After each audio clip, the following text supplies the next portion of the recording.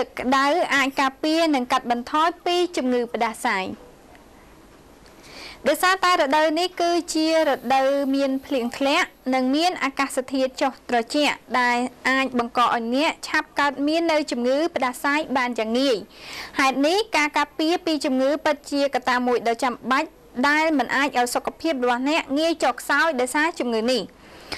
ការស្ទីមខ្លួនជាមួយនឹងចំហាយទឹកគឺជាថ្នាំដ៏ស័ក្តិសិទ្ធិដែលអាចជួយបំបត្តិការតឹងច្រមុះមួយផ្នែកហើយក៏អាចជួយអ្នកពីការបំបត្តិពីភាពអស់កម្លាំងផងដែរការត្រាំឬស្ទីមក្នុងទឹកក្តៅអ៊ុនៗឲ្យបានរយៈពេលពី20ទៅ30នាទីពិតជាអាចជួយឲ្យរាងកាយរបស់អ្នកទទួលបានស្ថិរភាពនៃសីតុណ្ហភាពក្នុងរាងកាយបានល្អដែលជាហេតុមិនបណ្ដាលឲ្យអ្នកឆាប់កើតមាននៅជំងឺផ្ដាសាយ ការស្ទីមជាមួយនឹងចំហាយទឹកក្តៅបន្តិចបន្តិចងាយស្រួលអាចជួយឲ្យរន្ធញើសងាយស្រូបយកនៅជាតិនេះបានល្អហើយបានឆាប់រហ័សជាងការងូតទឹកផ្ទាល់តែម្ដងហេតុនេះអ្នកគួរតែចំណាយពេលទំនេរដើម្បីឆ្លៀតធ្វើការស្ទីមពីព្រោះវាអាចជួយផ្ដល់ផលប្រយោជន៍យ៉ាងច្រើនជាពិសេសក្នុងរដូវដែលមានភ្លៀងធ្លាក់និងចុះត្រជាក់បែបនេះ។